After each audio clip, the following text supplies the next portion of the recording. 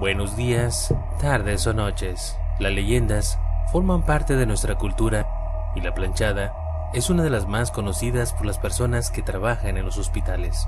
Esta leyenda data del siglo XIX y se cuenta que una enfermera de nombre Eulalia se enamoró de un médico pasante, pero este, al abandonarla, causó que descuidara a sus pacientes. El nombre de la planchada se debe a su uniforme muy almidonado que se utilizaba en esa época. Actualmente, algunos trabajadores o pacientes han tenido alguna experiencia con la planchada. De acuerdo con los relatos, solo se presenta ante los pacientes que se encuentran delicados y necesitan ayuda. Pues de repente íbamos a entrar y escuchábamos que estaba sonando la regadera. Es como que se estaba bañando alguien y nadie de nosotros hubiera entrado y lo que se veía eran los pies de una enfermera, blancos, blancos, blancos, blancos. Pero pues esperamos un rato para ir a verlo. En eso, cuando fuimos y abrimos la puerta, no había nadie, nadie, nadie estaba. Aunque esta leyenda tiene sus orígenes en el Hospital Juárez de la Ciudad de México, son muchas ya las personas que afirman que la planchada se aparece en diferentes centros de salud.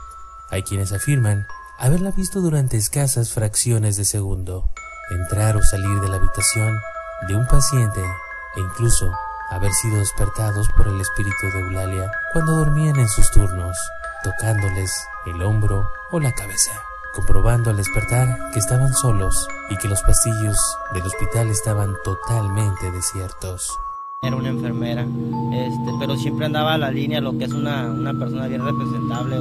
sé que era bien educada y bien estricta en su vestimenta. Un paciente que arriba, este, esa misma persona este, se presentaba y les daba medicamento y le decían, no, sabes que esta persona ya este, vino una, una, enfermera y ya me atendió y dice, pero ¿cómo? Pues si yo soy la única que está aquí en piso. No solo en esta institución hospitalaria, sino en, las, en otras del sector salud donde la han visto.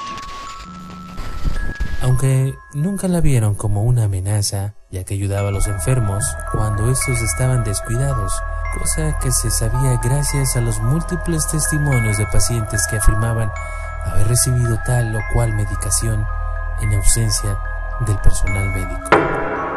La leyenda dice que su espíritu no ha descansado y que es un alma en pena que trata de enmendar los errores que cometió cuando estaba viva y deprimida ayudando a los pacientes y presentándose como a ella le gustaba, con amabilidad y con uniforme bien planchado.